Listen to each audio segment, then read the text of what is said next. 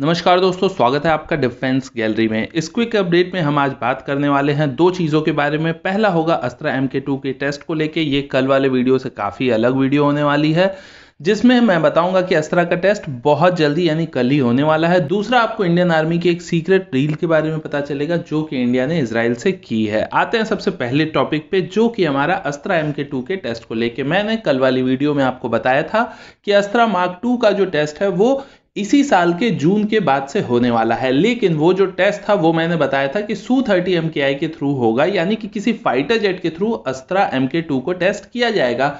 लेकिन जब भी किसी फाइटर जेट के थ्रू किसी एयर टू एयर मिसाइल को टेस्ट किया जाता है तो उससे पहले उसके ग्राउंड ट्रायल्स होते हैं, जिसमें कि उस मिसाइल को ग्राउंड से, यानी कि सरफेस टू एयर मोड में टेस्ट किया जाता है। और उसी तरीके का टेस्ट डीआरडीओ कल करने वाला है। ऐसी उड़ती उड़ती खबर आ रही है।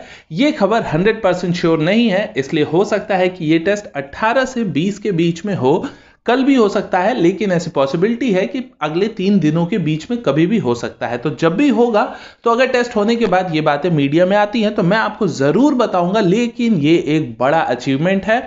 कि अस्त्रा एम के वन ए अभी जस्ट ही डेवलप हुआ। उसको डेवलप करने में 20 साल का समय लगा। अभी उनका इंडक्शन शुरू ही हुआ है और उसके साथ साथ आप देखते हैं कितनी जल्दी आपको अस्त्रा एम के टू के टेस्ट के बारे में पता चलता है। तो ये अपने आप में काफ़ी अच्छी खबर है और यही चीज़ होती है जब आप पहली बार किसी टेक्नोलॉजी को डेवलप करते हैं तो पहली बार में Astra mark one A develop करने में लगी बीस साल। लेकिन अस्त्रा मार्क टू में आपको दो साल सिर्फ़ लग रहा है। तो आप देखिए नाइन्टी टाइम आपका कम हो गया इसी को कहते हैं टेक्नोलॉजी जो कि बहुत क्रूशियल चीज़ होती है।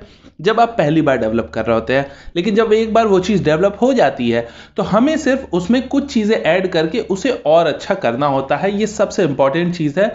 जैसा होगा इस टेस्ट में, जैसे रिजल्ट्स आएँगे, हम उसके बारे में आपको ज़रूर अपडेट करेंगे। बढ़ते अपनी अगली अपडेट पे, जो कि इक्वली इंपॉर्टेंट है।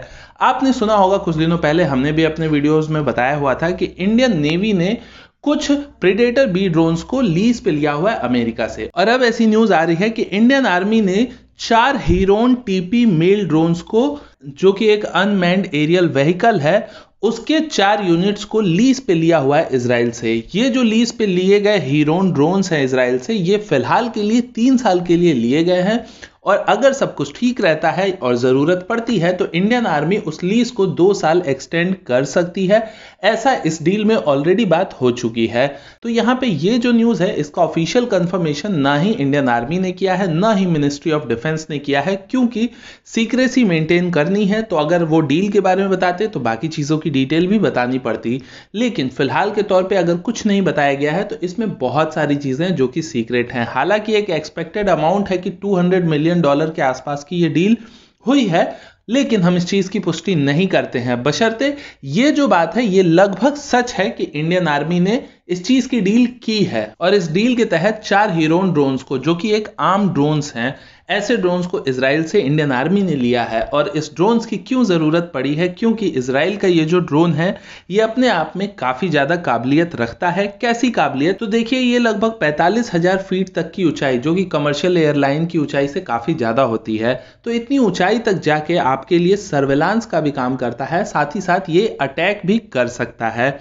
एंडोरेंस अगर आप देखते हैं तो देखिए 30 घंटे की एंडोरेंस है, जो कि काफ़ी ज़्यादा है। 30 घंटे की एंडोरेंस और इतनी ऊंचाई तक ऑपरेट होना, साथ ही साथ स्पीड भी आप देखते हैं तो 400 किलोमीटर प्रति घंटे की रफ्तार से उड़ सकता है। तो अगर आपने 30 घंटे इसको उड़ाया 400 नहीं 200 किलोमीटर की भी रफ्तार से तो आप सोचिए कितनी ज़्यादा स्पीड के साथ आप बहुत बड़े एरिया को, लगभग पूरे एलएसी को आप एक बार की उड़ान में कवर कर सकते हैं। तो यानी कि ये जो चार ड्रोन होंगे, वही मिलकर लगभग लगभग पूरा का पूरा हमारा जो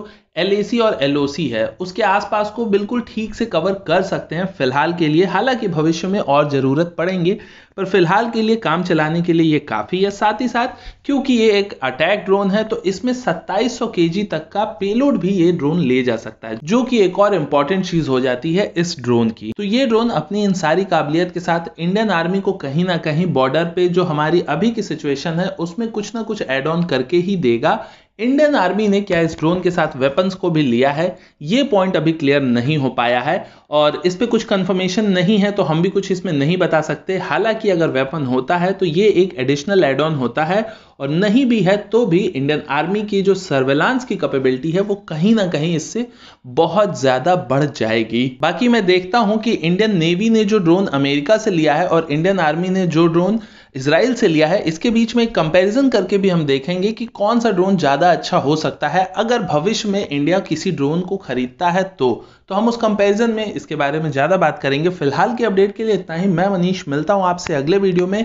आप चैनल को सब्सक्राइब करके बेल आइकन प्रेस करना मत भूलिएगा। नमस्कार, जय हिंद।